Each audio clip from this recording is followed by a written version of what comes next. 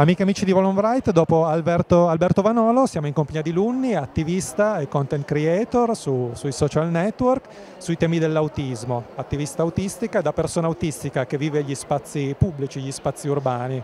Come ti trovi a muoverti in città e in ambienti che in realtà non sono pensati per accogliere tutte e tutti? Allora con un po' di spirito di avventura che non è per forza negato alle persone autistiche, a questa cosa mi ha fatto pensare proprio il libro di Alberto Vanolo e poi bisogna, bisogna fare una, una costante contabilità, passatemi il termine, una contabilità energetica. Io oggi sono qui al Salone di Torino so che molte delle mie energie saranno da recuperare ed è questa la ragione per cui spesso le città, anche per le persone autistiche come me che le amano, sono di difficile navigazione, però si può fare tanto per migliorare, quindi diciamo che un mix di avventura e un mix di contabilità sono un po' le due, le due facce della medaglia dell'essere una persona autistica e vivere in città. Ecco, dal tuo punto di vista cosa si potrebbe fare per migliorare la situazione?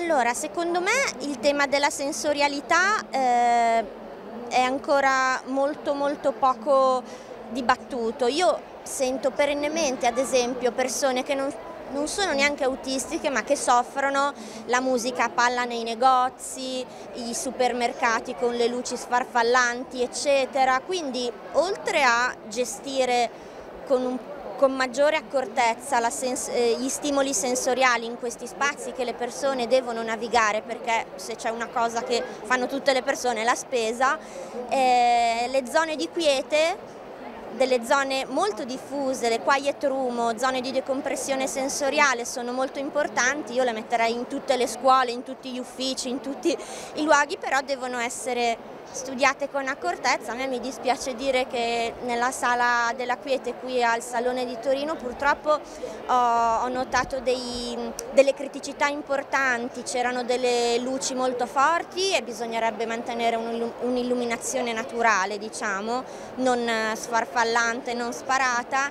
C'era un ronzio molto forte, credo, di un condizionatore d'aria tra l'altro non trovavo neanche necessario e poi c'era anche una scarsa consapevolezza delle persone che la prendevano come una sala dove andare a parlare ad altissima voce, a rispondere al telefono, anche a correre avanti e indietro e insomma fare anche cultura su che cosa sia una stanza di quiete sarebbe molto importante affinché la quiete poi ci sia veramente. Ecco, grazie perché insomma a noi piace essere un pochino incisivi, un po' pungenti, quindi anche se possiamo fare una critica al Salone per migliorare il prossimo anno, ben venga. Chiudiamo con un'altra piccola domanda. Uh, prima hai definito l'esistenza delle persone autistiche un'esistenza un po' punk. Puoi riassumere in poche parole questo concetto? Beh, perché sfidiamo il concetto stesso di decoro, secondo me, ma in cose perché sono così banali che quando poi io lo dico a delle persone dicono ma perché? Chi è che ti fa dei problemi se all'improvviso hai bisogno di sederti per terra?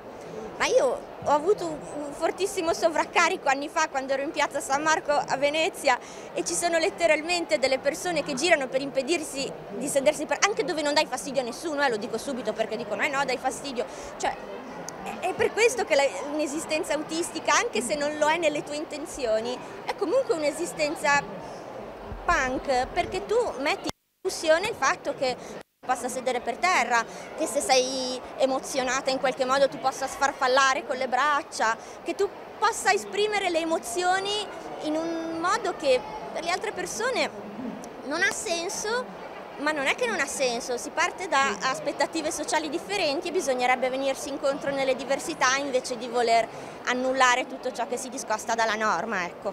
Grazie mille, hai espresso benissimo il concetto anche proprio visivamente, quindi grazie ancora. Complimenti per tuo, la tua attività, il tuo attivismo, grazie e speriamo di rivederti qui a Torino presto. Grazie a voi. Grazie a voi.